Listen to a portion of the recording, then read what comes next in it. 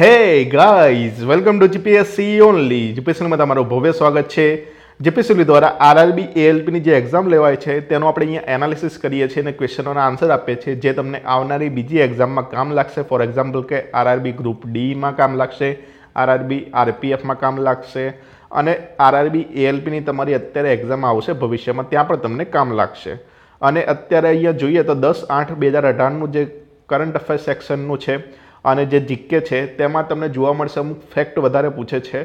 તેમાં અમુક સ્પેસિફિક કંપનીઓના ઓનર કોણ છે, તે આ લોકો પૂછે છે. અને કંપનીઓના નામ બી થોડા અજીબો ગરીબ હોય છે, જે કરંટ અફેરમાં હોય છે, પરંતુ એટલો લોકો કોઈ ધ્યાન આપતું નથી હોતું, તો પણ અહીંયા આપેલા છે અમુક ક્વેશ્ચનો એટલે અમુક ક્વેશ્ચનો થોડા હાર્ડ પૂછે છે તેવું કહી શકાય છે આપણે. પરંતુ ચિંતા કરવાની કોઈ જરૂર નથી. અમુક ક્વેશ્ચનો એવા હશે જ જે નાઇન્ટી પર્સન્ટ લોકોને નહીં આવડતા હોય, એટલે ચિંતા કરવાની જરૂર નથી. તમને અમુક ક્વેશ્ચનો જોઈને ગભરાવાની કંઈ જ જરૂર નથી આપણે. આપણને નથી આવડતો તે હાર્ડ ક્વેશ્ચન છે તો બધાને પણ હાર્ડ લાગ્યો જ હશે. એટલે અમુક ક્વેશ્ચન એવા એક્ઝામમાં મૂકે જ છે દરેક એક્ઝામમાં તો ચલો શરૂ કરીએ છીએ. ઓલિમ્પિક બે હજાર સોળનો ફ્લેગ બિયર કોણ હતું? એટલે કે ફ્લેગ પકડીને જે સ્ટાર્ટિંગ કરે છે ઓલિમ્પિકમાં ભારતનું પ્રદર્શન કરવાનું, તે પ્રથમ કોણ હતું? તો બે હજાર સોળની ઓલિમ્પિકની અહીંયા વાત થઈ છે. તો અભિનવ બિંદ્રા હતા. આ ક્યાં રમાઈ હતી? તો આ રમાઈ હતી બ્રાઝિલમાં રિયો ડી જેનેરિયો ખાતે રમાઈ હતી, જેમાં આપણે બે મેડલ મેળ્યા હતા. આ જે કૌંસમાં છે તે બધી તમારા માટે વધારાની ઇન્ફોર્મેશન છે અને તે ખાસ ઇમ્પોર્ટન્ટ છે તમારા માટે. કેમ કે આ એક્ઝામમાં અહીંયા આ નામ પૂછાઈ ગયું છે. હવે બીજી એક્ઝામમાં તમને આ જે કૌંસમાં જે હું આપું છું, જે વધારાની ઇન્ફોર્મેશન, તેમાંથી તમને કંઈ પણ વસ્તુ પૂછી શકે છે. આના રિલેટેડ હશે એક્ઝામમાં ક્વેશ્ચન. એટલે આ તમારો એક માર્ક્સ તમારો પાક્કો અહીંયા થઈ જશે. તો અહીંયા જોઈએ, આ બ્રાઝિલમાં થઈ હતી ને આપણે બે મેડલ મેળવ્યા હતા. એક મેડલ હતો સિલ્વર પીવી સિંધુએ મેળવ્યો હતો અને એક મેડલ હતો, બ્રોન્ઝ તે સાક્ષી મલિકે મેળવ્યો હતો. નેક્સ્ટ આગળ જઈએ તો કેગના ડાયરેક્ટર અત્યારે કોણ છે? તો રાજીવ મહર્ષિ છે. એક્ઝામમાં બીજું પૂછાશે ઈસીઆઈ અત્યારે કોણ છે? તો અત્યારે છે ઓપી રાવત છે અને સીવીસી તો કેવી ચૌધરી છે. નેક્સ્ટ કે સ્પાઇસ જેટના માલિક કોણ છે? આ ક્વેશ્ચન થોડોક હતો. ઇન્ટરેસ્ટિંગ કે સ્પાઇસ જેટના માલિક તો અજય સિંહ છે. નેક્સ્ટ કે નાટો એટલે કે નોર્થ એટલાન્ટિક ટ્રીટી ઓર્ગેનાઇઝેશન તેનું ફૂલ ફોર્મ છે. તેની સ્થાપના ક્યારે બન્યું હતું? તે ક્યારે બન્યું હતું? તો નાઇન્ટીન ફોર્ટી નાઈને બન્યું હતું. ક્યારે? તો ચાર એપ્રિલના રોજ બન્યું હતું, જેનું હેડક્વાર્ટર છે બેલ્જિયમ, બ્રુસેલ ખાતે. નેક્સ્ટ કે ટેલિકોમના શોધ આ તો બધાને આવડતું છે એલેક્ઝાન્ડર ગ્રેહામ બેલ છે. નેક્સ્ટ કે હરિઓમા એક્સરસાઇઝ કયા બે દેશો વચ્ચે થઈ હતી? હરિમાઓ એક્સરસાઇઝ કયા બે દેશો વચ્ચે થઈ હતી? તો ભારત અને મલેશિયા વચ્ચે થઈ હતી. નેક્સ્ટ કે નીરજ ચોપરા. તેમને કયા સ્પોર્ટ સાથે સંકળાયેલા તો જેવલિન થ્રો સાથે સંકળાયેલા છે. નેક્સ્ટ કે અર્થશાસ્ત્રી ભારતના કયા છે? જેમને નોબલ પ્રાઇઝ મળ્યો હતો. તો એક જ છે, અમૃત્ય સેન. તેમને મળ્યો હતો ઓગણીસો અઠ્ઠાણુંમાં મળ્યો હતો. અને પછી ભારત રત્ન પણ તેમને મળેલો છે ઓગણીસો નવ્વાણુંમાં. તો આ જે વધારાની ઇન્ફોર્મેશન ખાસ યાદ રાખજો. નેક્સ્ટ કે વ્યાતિ યોજના. કઈ બેંકે લોન્ચ કરી હતી? તો વ્યાતિ યોજના લોન્ચ કરી હતી એક્સિસ બેન્કે એક્સિસ બેંકના એમડી અને સીઓ તમને પૂછાઈ શકે છે. તો શિખા શર્મા છે. નેક્સ્ટ કે પેટા દ્વારા. હવે આ પેટા શું છે પહેલાં તો એ આપણે ક્વેશ્ચન થશે. તો પેટા એટલે people for the ethically treatment of animals animal જોડે જે સારો વ્યવહાર કરે છે, જે લોકો માંસ નથી ખાતા, તેના માટે આ એક સંસ્થા છે પેટા. તે લોકો person of the year award આપે છે. તો બે હજાર સત્તરનો પર્સન ઓફ ધ યર કયા એક્ટ્રેસને મળ્યો હતો? તો એક્ટ્રેસનું નામ છે અનુષ્કા શર્માને મળ્યો હતો. બે હજાર અઢારમાં કોને મળ્યો છે તે હવે પૂછાય. તો સિંગર છે જુબિન ગર્ગ.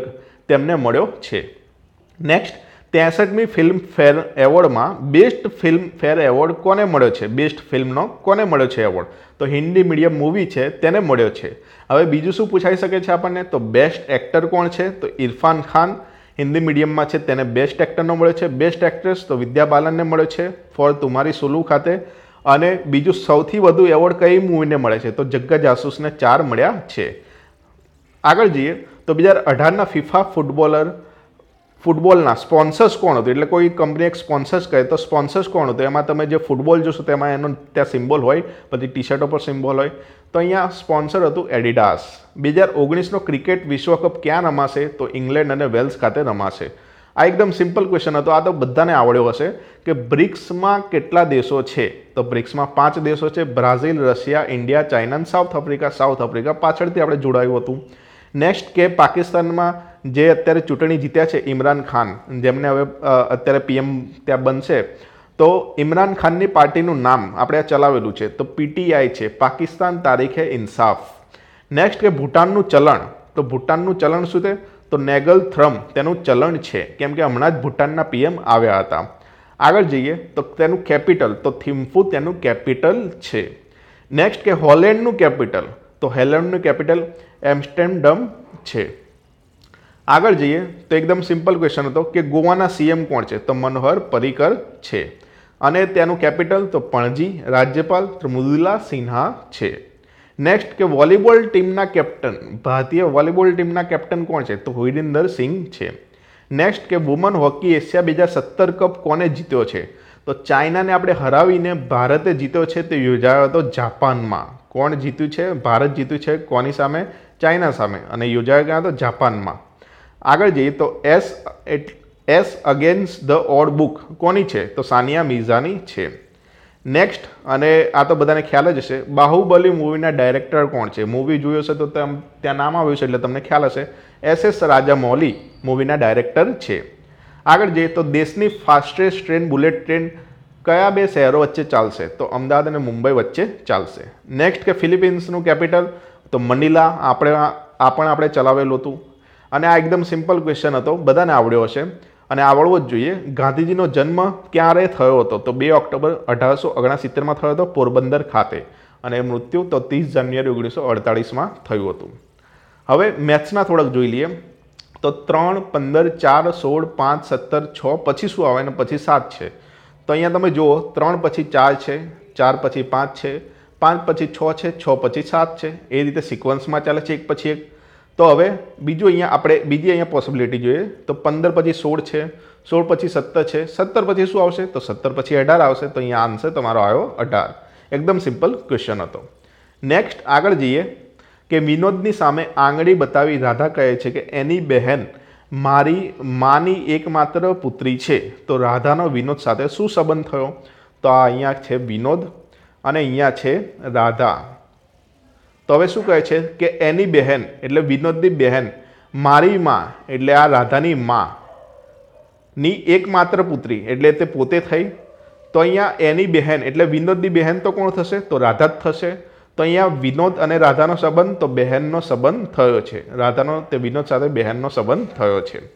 આગળ જઈએ, તો એક, બે, છ, ચોવીસ, પછી શું આવે? અને પછી સાતસો વીસ આપે છે. ત્યાં તમે જુઓ, તો અહીંયા તમે એક ગુણ્યા બે, તો બે થયા. પછી બે ગુણ્યા ત્રણ. એટલે કેટલા થયા? છ થયા. પછી છ ગુણ્યા ચાર. તો છ ચોક ચોવીસ. એટલે આ રીતે બે વડે ગુણ્યા, પછી ત્રણ વડે ગુણ્યા, પછી ચાર વડે ગુણ્યા. તો હવે ચોવીસને આપણે પાંચ વડે ગુણ્યા. ચોવીસ ગુણ્યા પાંચ. તો પાંચ ચોક વીસ અને અહીંયા પછી બે આવશે. પાંચ દુ દસ અને પછી બે. એટલે એકસો વીસ. તો અહીંયા એકસો વીસ સાચો આન્સર આવશે. અને પછી એકસો વીસને આપણે છ વડે ગુણ્યા. તો અહીંયા સાતસો વીસ આવશે. તો આ રીતે ક્વેશ્ચન હતો સિરીઝનો.